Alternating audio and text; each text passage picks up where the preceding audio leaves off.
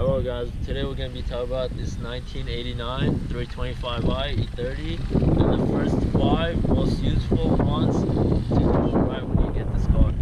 Okay, the first mod, which I think is the best one and you should all do, is the first thing I did when I got the car was replace the control arms, the bushings, basically the whole front suspension. It's a really good thing because mine was all beat up and usually this like these cars are 25 years old and up. So the best mod to do the first one that should be is replacing all the control arms and everything.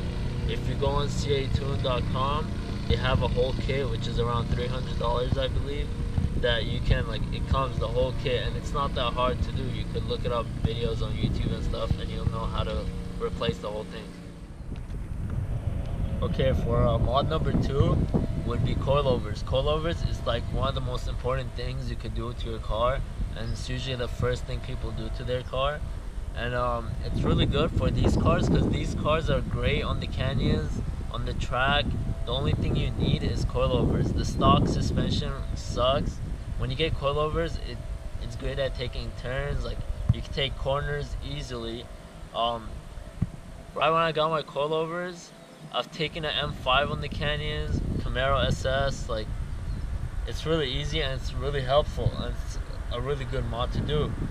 And uh, a lot of the coilovers range about a thousand dollars. Usually like BC coilovers, ground control, all those. The ones I got were about three hundred dollars. Cause when I bought the car, I don't have a lot of money. You may not have a lot of money, and like some people like are on a budget if you're a student and whatnot. So I have a video down below on the coilovers I made, I got for this car, which cost me only $300. So go check that video out, and I guarantee you won't regret it. The third mod to do is uh, wheels. For example, I got 17s because I'm really into stands and like I'm not really into racing that much.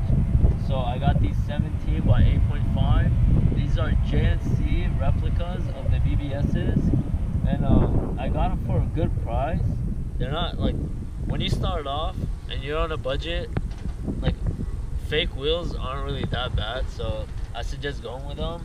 And uh, also now I have a set of BBSs, uh, two piece, and uh, I'm gonna be making a video on how to get a real set of BBSs for under a thousand dollars.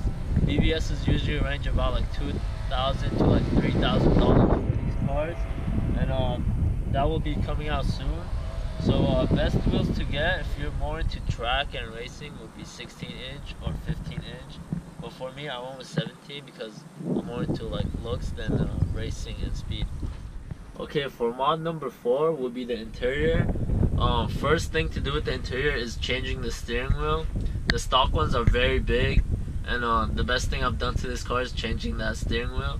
Um, these are way smaller. It's way better to control with um, don't go with a cheap eBay steering because those bend really quick. Get something that's reliable around the hundred dollars. And uh, for the hub, I bought a Momo hub that cost me about eighty dollars on eBay.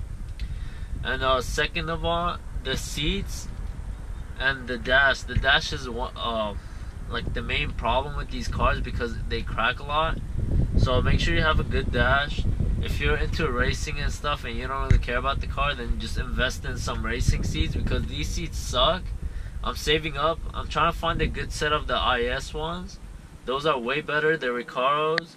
Try to find those. If you have these, they hold you in a lot better. Mod number five is gonna be the whole exhaust system. Right now I'm only running a muffler, but after I swap out the transmission, because some of the headers don't really fit on automatic transmissions, after I swap out the transmission, the best mod to do is um, get a good set of headers, and then from that you can basically take to a muffler shop, just get a high flow cat, or um, if you want, don't even run a cat.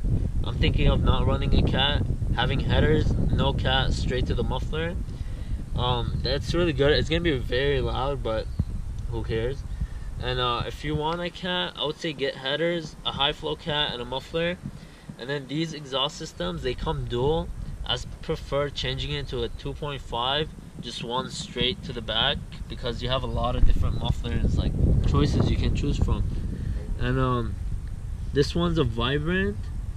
I had it changed into a 2.5 because these only come 2.5 they don't fit directly on the E30 and then it's way better than buying the whole exhaust system because a whole exhaust system will run you about like a thousand dollars while getting these will only run you about like six seven hundred dollars. For like a really good headers like good headers usually run about like four five hundred dollars.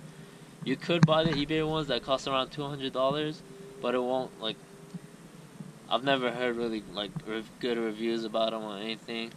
And um yeah that's about it for mod number five. These are the first five mods to do on the car and um i'm gonna show you a little clip